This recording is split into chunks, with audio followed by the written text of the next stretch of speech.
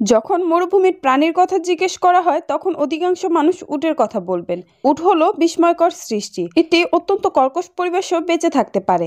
চলুন জানা যাক এই রহস্যজনক প্রাণী সম্পর্কে। উটের প্রজাতি দুই ধরনের। এক কুচবিশিষ্ট উট বা মধ্যপ্রাচ্যে এবং আফ্রিকায় বাস করে এবং দুই কুচ বিশিষ্ট উট, যা এশিয়ার কেন্দ্রে বাস করে। উট সাধারণত চল্লিশ থেকে পঞ্চাশ বছর বেঁচে থাকে। পূর্ণবয়স্ক উট সাধারণত সাত ফুট উচ্চতা বিশিষ্ট হয়। উট প্রতি ঘন্টায় চল্লিশ মাইল বেগে দৌড়াতে পারে। উট দীর্ঘ সময় ধরে পঁচিশ মাইল বেগেও দৌড়াতে পারে। এর জন্য এগুলোকে মরুভূমির জন্য চমৎকার পরিবহন হিসেবেও কাজ করে। উট প্রায় দুই মাস পানি পান না করেও বেঁচে থাকতে পারে। উটের ঘন জামাটি আলো বিকিরণ করে, এর ত্বককে সূর্য থেকে বাঁচিয়ে রাখে। এই জামাটি গ্রীষ্মে আরও বেশি আলো বিকিরণ করে। উটের লম্বা চিকন পাগুলো ডিজাইন করা হয়েছে এমনভাবে যাতে তারা গরম বালু থেকে অনেক উপরে থাকে। যদিও তাদের পা চিকন, কিন্তু তা অনেক শক্তিশালী এবং তা এক হাজার পাউন্ড ওজন বয়ে নিতে পারে। উটের চ্যাপটা পায়ের তালু তাকে বালুতে তলিয়ে যাওয়া থেকে রক্ষা করে। পৃথিবীর অধিকাংশ উট গৃহপালিত করে ফেলা হয়েছে, শুধুমাত্র কিছু বাদে।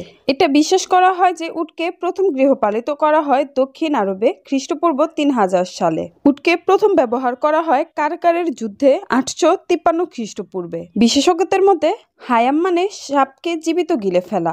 অনেকেরই এই রোগের বিষয়ে ধারণা না থাকায় উট খাওয়া দাওয়া ছেড়ে দিলে উটের উপর নানা ধরনের জুলুম করে। কিন্তু এমন কাজ বর্জনীয়।